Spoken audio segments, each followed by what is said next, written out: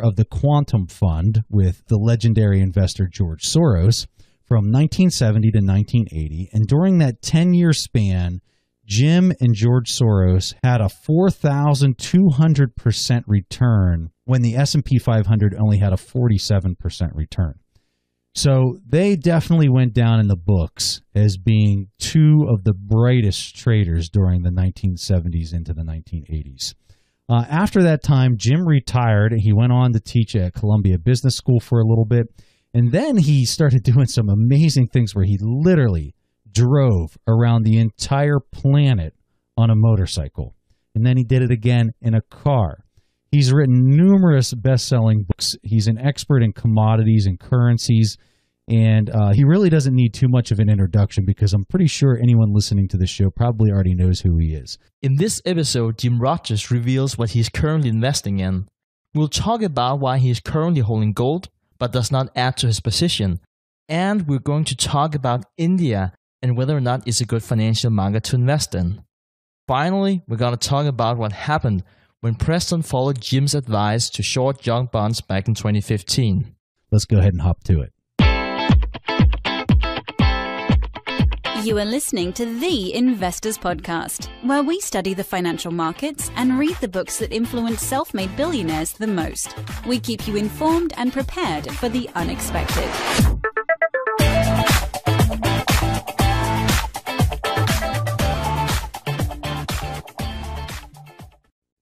I can't even tell you how just thrilled I am to have you on the show, Jim. I'm a huge fan. I've been reading your material for years at this point. And the first thing I want to talk to you about is gold. A lot of people saying to buy gold, and you're one of the few that I've read over the last couple years that you have a position in gold, but you're very hesitant to increase that position at this point in time. And we're recording this for people listening to this in the future. We're at the second quarter of 2017, just to kind of give you a reference of time here. And so you haven't been increasing that position. And I have a similar opinion as you as to not taking a position in gold at this point. But I'm really curious to pick your mind as to what are some of those critical things that you're looking for that would change that opinion for you, where you would then start taking a position again. What would change? I don't know. If gold collapsed to 950 U.S. dollars an ounce, I would probably rush in and buy a lot of gold. Price, I guess, is the main determinant, or time. If this were 2019, I might rush in and buy some gold. You know, gold hasn't had enough of a correction yet for me, and there's still too many bugs. I'm too many bulls. You know, it's everybody. Millions of gold bugs out there when they give up, I hope I'm smart enough to buy gold. So you're really looking at it more from a psychological standpoint of there's too many people talking about how it's a good trade. Whenever everyone's going to say you got to run for the hills on gold, it's a disaster. That right there is when you see that as a prevalent narrative in the market, that is when you know it's the right time to buy. Is that a correct statement? Preston, when they say I never want to invest in gold again as long as I live, that's when I want to invest in gold. That's true of many things. You know, when everybody gives up and throws it out the window, that's usually a good time to buy anything, including gold. And so far, there's still too many people who love gold. You know, for me, I was kind of expecting you to come with more of a quantifiable approach to it, I guess. So I'm really surprised at how qualitative it is. Uh, investing, Preston, is qualitative, quantitative, it's everything. I mean, I wish it was so simple. I wish you could just look at, turn to page 37 and say, ah, there's the answer. There is no simple answer in the investment world. It's a combination of everything. And that's the case with gold and everything else. Gold has been around for thousands of years.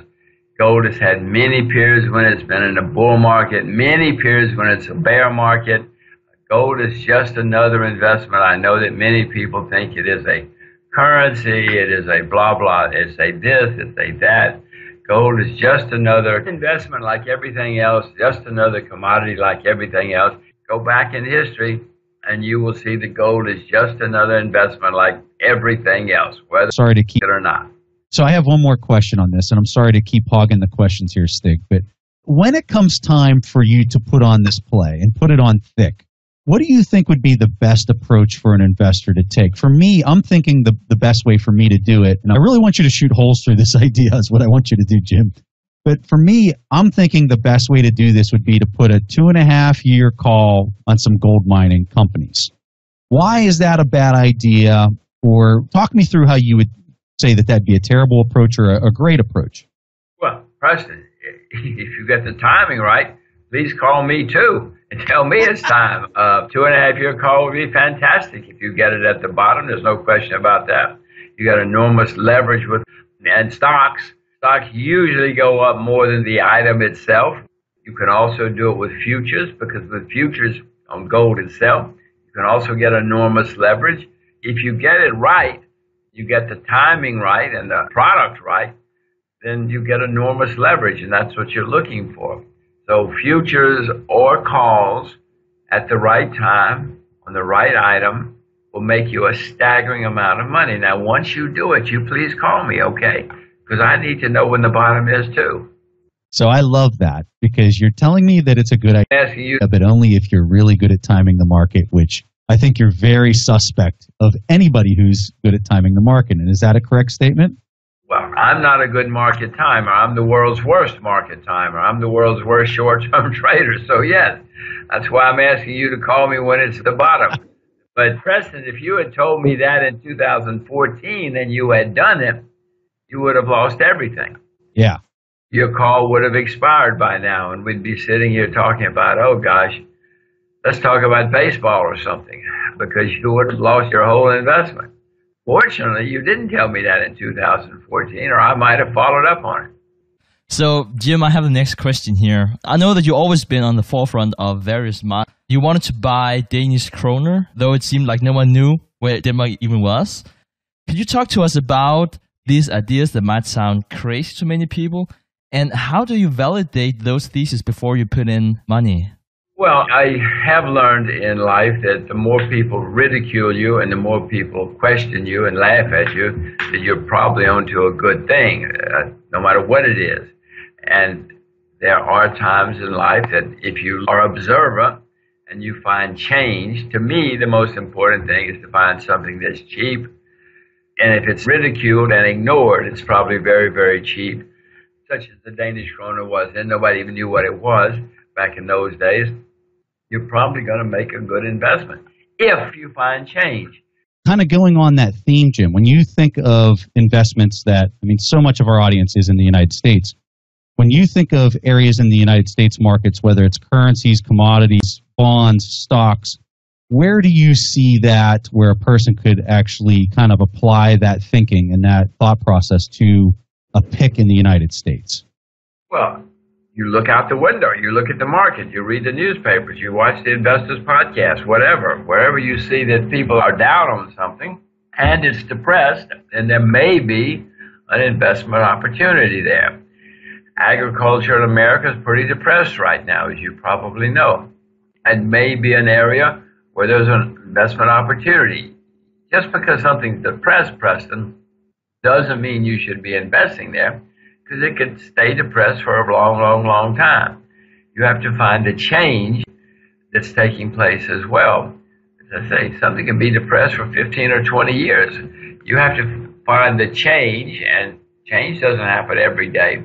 But if you can find something cheap and if you can find a positive change, maybe you should do more homework and find an investment. Jim, could you talk to us about Catalyst? Because you were talking about how difficult it is to time the market or time a depressed asset. Some people would be saying that value in itself would be a driver, but how do you assess Catalyst and when do you see that something is about to change so it will realize its intrinsic value? Well, Stig, you've hit on it again. I mean, this, that's the important part. I have learned about me because I've been investing a long time, that I'm usually too early, that I see something happen and I assume everybody sees what I see. I now know they don't. I now know I see it much too early. So I learned to wait a year or two. But the change, the catalyst, as you call it, could be anything. But again, I want to emphasize, even when you see the catalyst, doesn't do any good unless everybody else sees the catalyst too. and unless the effects come through pretty quickly. And in life and in the world, it usually takes a while for the catalyst to work its way through. So, Jim, I want to hit on a theme that you talked a lot about in your book, Street Smarts. In your book, you talk about this idea that the capital flows are drastically changing from what the U.S. had experienced over the last 75 years.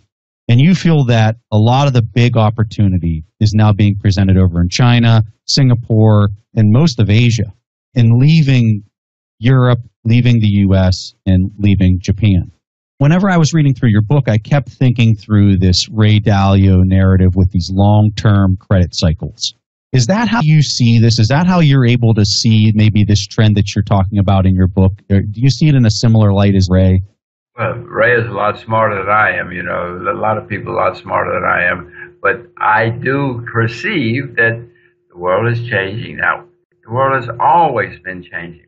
No matter what you think is true today in 2017 is not going to be true 15 years from now. What all of us think right now. You pick any year in history and you look 15 years later and everything that people thought in 1900 or 1920 or 1950, pick the year. 15 years later, the world was completely different and everything had changed.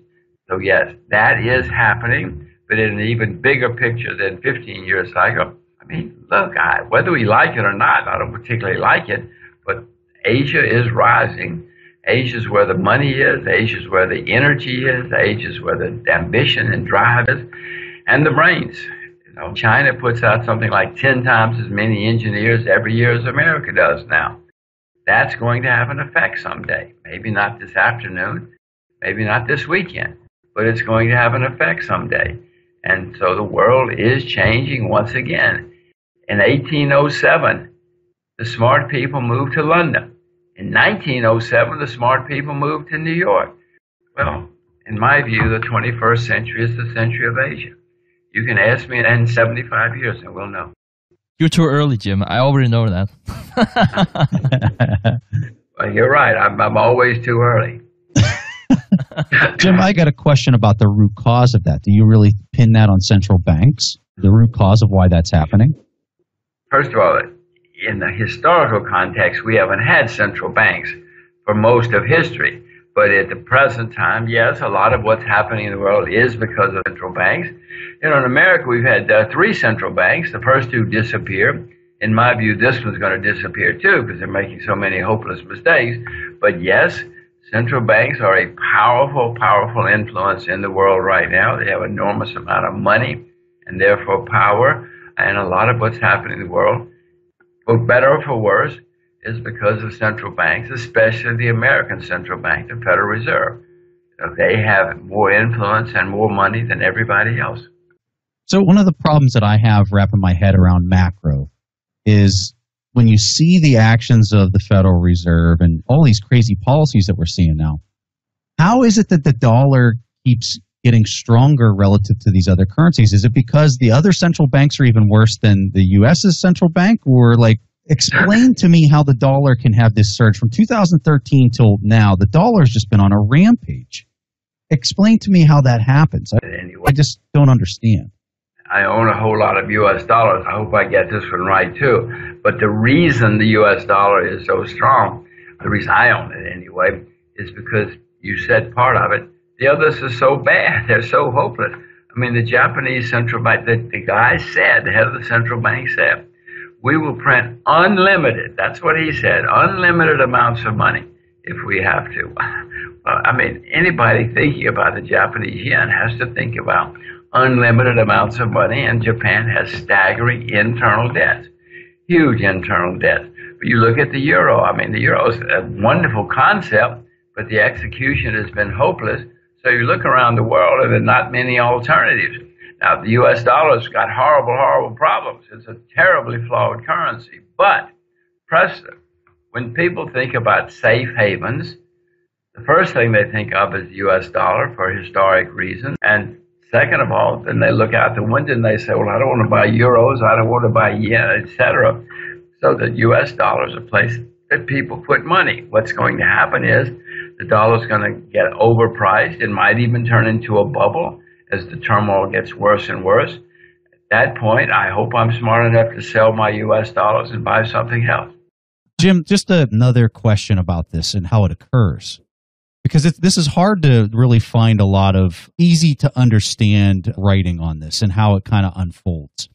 So, when this starts to go into this spiral, which is where I would classify the Bank of Japan right now, I've read different things where it says that, you know, in three years they might run out of bonds to basically buy off the market and that the stock market, I mean, they, what do they own? I, I forget the stat. It's something like the central bank in, in Japan owns something like 10% of the stock market. It's some crazy number like that. I apologize for not having the stat at hand here. But whenever they run out of those assets to basically swap currency for, whether it's bonds or even stocks at this point, is that when we start to see the currency to just go into the hyperinflation mode, or is it just different because of the fact that we're dealing with central banks and that's not something that we've necessarily seen in history? Well, Japan is somewhat of a closed economy and closed society. It's a little bit unique in that, you know, they can continue to trick each other for a long, long, long time. They can say everything is great, and NHK, the Japanese TV network, will say everything is great, and the emperor will say everything is great, and so everybody in Japan will believe it. I don't know when this is going to happen, but Preston, I will tell you that we have had economic problems every five to ten years since the beginning of time, and we're going to have them again, no matter what the press tells you. And when they happen again, it's going to be worse next time because of some of the things we've said, not just in Japan, but worldwide. Japanese will print, he said, we will print unlimited amounts of money, and he's got an unlimited printing press. And NHK will say every night, don't worry, everything is okay. The emperor is still in the imperial palace. And this is not going to end badly. It is going to end badly, whether we like it or not. Well, we're not even talking about the impact of negative interest rates. Preston, right now, many, many pension plans are being ruined. Many people who saved, their parents said, you save your money, you invest for the future, and everything will be okay all of those people who did that are being ruined because they saved and now they're getting negative interest rates or zero interest rates. Whether it's the pension fund of Illinois or the endowment for XYZ University, they're all getting ruined in an attempt to save the people who did it the other way. The central banks say, oh, these people borrowed too much money, they didn't save, they spend money they didn't have, we're going to save them but that's at the expense of the people that your parents said to save your money for the future. We're ruining the people who save for the future at the expense of the people who did it the other way. So let's talk about India. There's been a lot of focus on India at the time. I also know that you have taken position in there as well. Could you talk to us about the sustainability of the Indian economy? It seems to me that when you look at Northeast Asian economies that have done really well, you know, they have this formula of cultivating the land, going into manufacturing, having policies, especially in terms of the financial institutions of how to support the agricultural sector and the manufacturing sector. And when you look at a country like India, it kind of seems like you want to skip the steps and go directly to IT and more advanced services. So, how do you look at the sustainability of the Indian economy? Am I wrong in that assessment? Well, not not in my view, but you know, I'm not haven't been a very uh, good uh, predictor of India. But you're exactly right. But you have to remember, Stig. Yes, there are one billion Indians. You and I know about IT in India, but that's such a tiny, tiny, tiny part of the Indian population. Now, the Indian government loves to tell you that things are great, but you go to China, you go to India, and you can see even if you don't accept government numbers, which I don't anywhere, you will see that things in India are not nearly as well as they are in Korea or some other places, just looking out the window. I occasionally have invested in India. I've sometimes gotten it right, usually gotten it wrong because of the timing. You know, India has a lot of debt. The Indian government doesn't like to talk about it, but the debt to GDP ratio is very, very high in India, and it's getting higher and higher and higher that usually means you cannot grow at a rapid rate. And it's really interesting what you said about the IT sector, which is basically what we think about in the West whenever it comes to India. We're talking about less than 3%. And when we talk about manufacturing, which has historically been the thing that really takes a lot of countries to the next level in terms of development, we're only talking about 14% employment, which is very, very little in comparison to other countries. So, what is the driver for a country like India? Where do you see this going if you're looking at sustainable growth? Unfortunately, I don't see a lot that's for sustainable growth in India. You look out the window, you don't see any Indian products. We all know Japanese products, Korean products, German products. I doubt if you can name more than one or two Indian brands or names of products that you buy. Look at products from your office, your home. You'll see products from a lot of countries. I don't think you'll see any products from India. and the reason for that is there aren't any. They haven't had great manufacturing success, or except in a, a few IT countries. So I don't see it. India used to be one of the great agricultural countries of the world. They've got the weather, the soil, the rain, the labor, and everything else. But the government in India has protected the farmers. Farmers in India cannot own more than 12 acres. That's for their own good. That's to protect them from the evil foreigners, etc., etc. Well, how can somebody with 12 acres compete with an Australian who could have 120,000 acres or, you know, a million acres, whatever it is? Cannot compete with 12 acres, but the Indian government is protecting all of those poor farmers like they protect many, many parts of the Indian economy. And that's one thing that India has not done as well as China or other places. Jim, I want to talk about in your book, you briefly talked a, a little bit about your time with George Soros. I'm curious, and, and I really appreciated you addressing your reasons of why the split ultimately occurred. But what I want to talk about is the time that you were working with George. What would you say was the one thing that was his just total strength that you took away from it that you really kept for yourself that you kind of learned from him? And then what would you say you gave him? You know, I left there 37 years ago. You weren't even born, but I haven't had any contact since. But I will say that both of us were dedicated and passionate and loved what we were doing. Uh, he was a great market timer. Jim, sorry to interrupt. What gave him that skill, though, would you say? I don't know. I don't think you go to school to learn to be a great trader.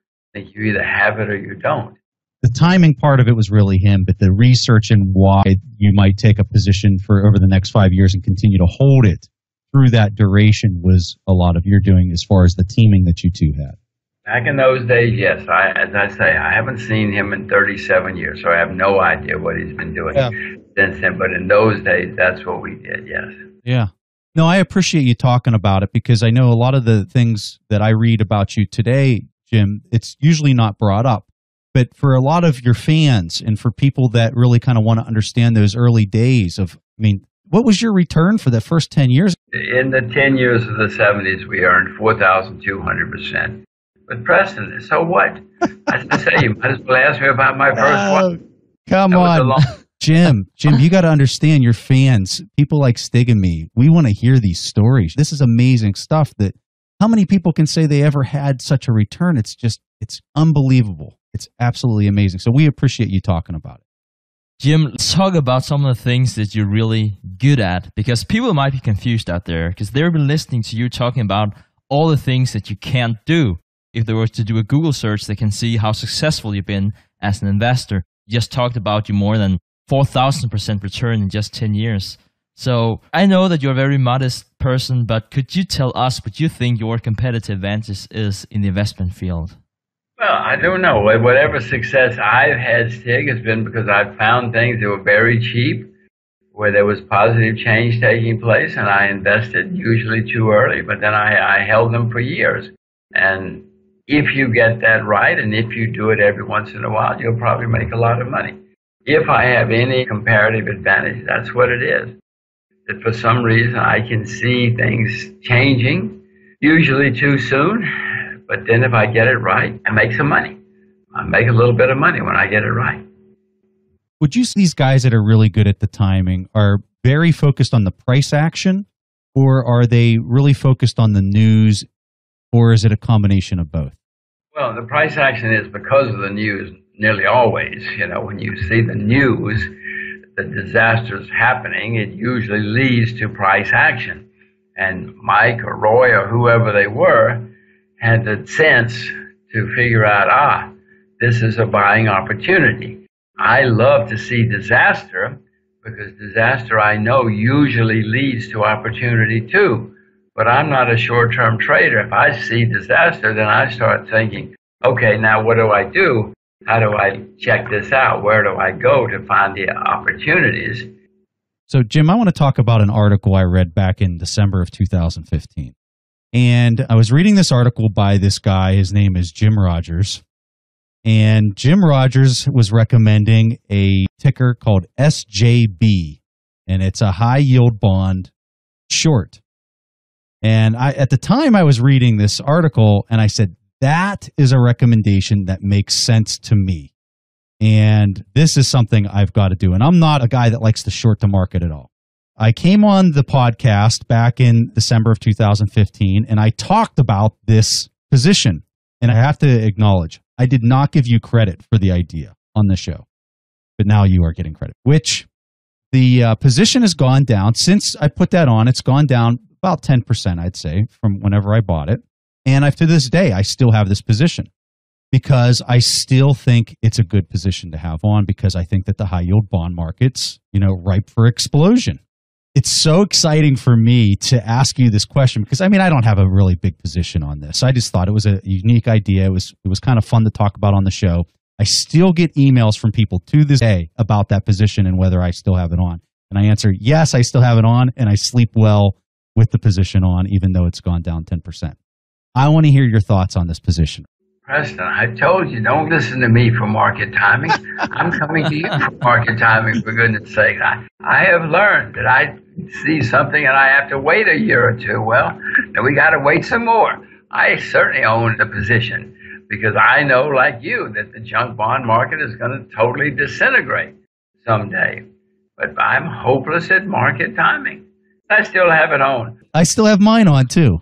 I'm too lazy to change. I know it's going to fall apart someday, but in the meantime, because my market timing is so hopeless, I'm losing money just like you. But eventually, uh, the junk bond market is going to collapse. I hope I don't collapse first. No, there's no question. It's a very simple thing. The world does not work so that people can borrow staggering amounts of money and have very few assets very little money making ability and continue to go on and on and on. No, of course it's going to fall apart. But I may fall apart first because my timing is so bad. Yeah, I might need to increase my position on that.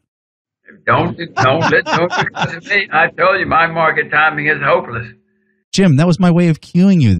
Well, hold on. Let me find my phone. Let me call up. call up and try to find some more. Okay, so Jim, I would like to talk about the size of positioning because it seems to me whenever I've been following what you have been doing, it seems to me like you have many ideas, but you're also very picky about which ideas you're really going to pull the trigger on. So, could you talk to us about how do you size your positions and why? I don't have a preconceived position size. I buy it as long as I think the price is right and the opportunity is right. And then when I run out of money or run out of patience, and then I stop. Part of the problem, Stig, is I don't have a committee. I only invest my own money. So I don't have to explain to a committee of wise people what I'm doing or why I'm doing it and defend it. So I just do it till I get tired or run out of money or whatever, and then I stop buying. Or until, you know, something else comes along and I start putting my money there. I mean, it's, it's not disciplined. It's, it's sloppy. It's hopeless. Maybe I should have a committee. But at the moment, I have enough money that I can get away with being sloppy. Jim, I'm really curious to hear your response to this one because one of the things that I've worked hard recently on is trying to come up with the indicators that I use to understand business and credit cycles. So whenever you're at the top of a credit cycle and, you know, it's starting to things that I tracked, what are some of those key indicators that would tip you off to that part of the business cycle to occur? So for me, some of the things that I have written down, and I have a list of about eight to 10 different things that I'm constantly looking at as like a reference. And when all of them are pegged in a certain area, I'm saying, you know, I think we're at the top of a credit cycle. So just to give you a sample of what I'm talking about, so the unemployment numbers, whenever I feel like the unemployment numbers are really starting to hit a bottom and plateauing and starting to actually turn up, I think that that's a really critical thing to understand of where you're at in the business cycle. Another one, Raoul Pal, who I know you're good friends with, he likes the ISM, the manufacturing index, as a good indicator. Another one that I use is the high yield bonds. When you're starting to see high yield bonds start to turn, is my line of thinking for the three that I mentioned on track? Would you agree with that? And I'm really, really curious, Jim, seriously, if you can give us some metrics that you consider that really pay a lot of attention to, please tell us that because I would love to write this down and annotate it. Well, Preston, I mean, you see them throughout history. All bubbles look the same. All market tops look the same. All credit tops look the same. You have to get the timing, of course. But when you see everybody buying X, you have to start saying, well, wait a minute, I've seen this before. When you see everybody saying, it's different this time, well, it's never different this time, Preston. Most dangerous words in the investment world are, it is different this time. It ain't ever different this time. You know, I'm not the first person to figure that out. When you see on the radio or the TV or the internet that everybody's doing something, I hope that a little bell goes off in your head and says, well, maybe, maybe I better start thinking about going the other way. The debt numbers skyrocket. The borrowing skyrocket. The junk bond borrowing skyrocket. All of these things have happened many, many times in history. You and I are not the first people to see the top of a credit cycle. Go back and read, whether it's any time in history. It's always, they've always said and done the same things. Well, in our opinion, today, in the second quarter of 2017, Stig and I both believe that that's kind of where we're at right now. Now, whether it runs another year or two, we have no idea. But we really believe that we're seeing that happen right now in the U.S. Do you agree with that, or you think this thing has a lot more to run? Of course, it's correct. It's simple, as I said. It always happens the same way. You look at the any kind of debt measure you want, whether it's margin debt, household debt, corporate debt. You look at it. It's all they're all making historic highs. Everybody is convinced that they cannot lose money in bonds. I mean, these things have happened before, happening again. We've always had problems every five or ten years. In the world, economic problems. We're going to have them again. The next time, it's going to be the worst in your lifetime. And mainly because there's such staggering debt everywhere. We had a problem in 2008 because of debt. Look out the window. The debt is much, much, much higher now. 2017 than it was in 2008, and it's going higher every day. This is going to be a very, very big problem. You and Stig are right. I got a question for you. When we're thinking through what's going to be the catalyst, the first thing that comes to my mind is European banking.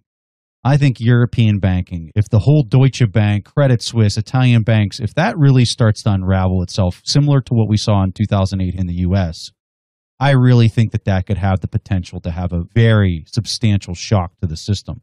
When I think through all the other events, I think that they could cause credit to, to contract and start getting into that situation. But I really, really believe that the European banking is probably the scariest thing that we face from a fundamental standpoint. Would you agree with that, or do you see something else as being a major threat? These things usually start where we're not looking. In 2007, Iceland went bankrupt most people say Iceland. What's Iceland? I didn't, they don't even know there is an Iceland or uh, that they had banks. But it went bankrupt. And then that snowballed, and the next thing you knew, Ireland went bankrupt, and the next thing you know, Bear Stearns went bankrupt, and then Lehman. You know, that's how these things nearly always work. So right now, there's probably something running into trouble that you and I are not paying attention to, or it's not registering, and it's going to snowball. Yes, those European banks are going to have problems down the road. Some are going to go bankrupt. But the president, you think American banks don't have problems? Oh my gosh. You kidding? In America, we have something called the FDIC, Deposit Insurance Corporation. It's bankrupt. You know, it's still there, and there's not a run yet. But the FDIC, once you start having problems in the American banking system, the FDIC is bankrupt. It can't meet its obligations. It's going to happen many places. Deutsche Bank's a good name to use, but there are plenty of them. So, what's the correct strategy here? Now we're talking about how so many assets are overpriced. We also talking about how we can't time the market. Either of us, perhaps Preston, but we can't time the market either. So we would have a lot of people asking, okay, so we're not going to short the market, but we still want to invest our money somewhere.